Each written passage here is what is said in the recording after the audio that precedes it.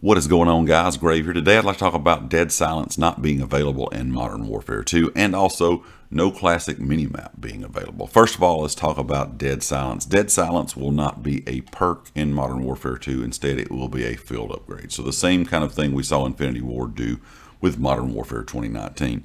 Now, this is a bit controversial. If you like Dead Silence, you're probably going to be unhappy with this. If you're not a fan of people using Dead Silence, you're probably going to be very happy about this. So once again, this is going to be, uh, like I said, a field upgrade. It will be something that's on a timer. You know, you'll have to, the better you play, the quicker you may be able to unlock it.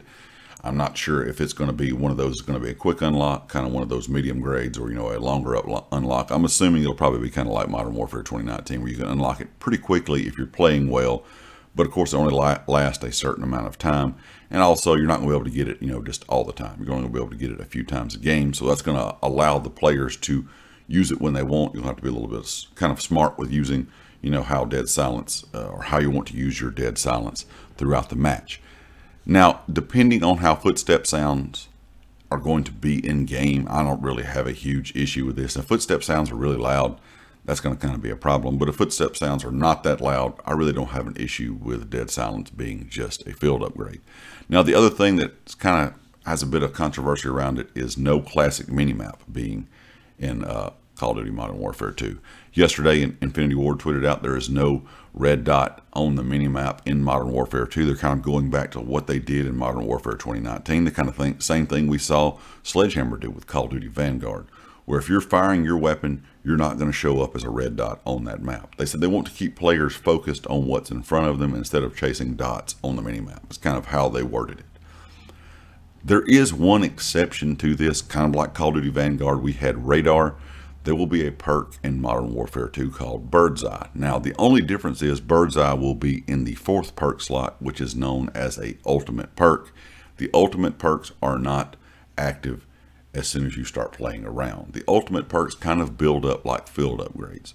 Once you get to a certain point, you've had enough kills, you got enough XP, you've capped enough objectives, that ultimate perk will finally unlock. So kind of like some of the perk systems we saw back in older Call of Duty games, back like Modern Warfare 3, where you had these different perks that could unlock over time. That's how the bird's eye perk will be as well. So if you want to still use that radar, you want to see the radar like you would have in the past, where if there's a person on the map firing an unsilenced weapon, you can see that red dot pop up. You will have that option called bird's eye but it's not going to be available to you as soon as the round starts. You're going to have to start playing pretty well to unlock that bird's eye perk. And yesterday, uh, Infinity Ward kind of gave us an idea of how long this takes. I say the base timers on most of these ultimate perks are like four to eight minutes. And of course, you know, that speeds up the better you play. So it's going to be interesting to see if anyone even uses bird's eye. Because I think a lot of people use radar in Vanguard. But considering uh, bird's eye is not going to be something that you're going to get from the start of the game. It's something you're going to kind of have to build up to. I'll be curious to see if anyone decides to use it or not. So leave me a comment, guys. Let me know. Are you happy that there's no dead silence perk in the game?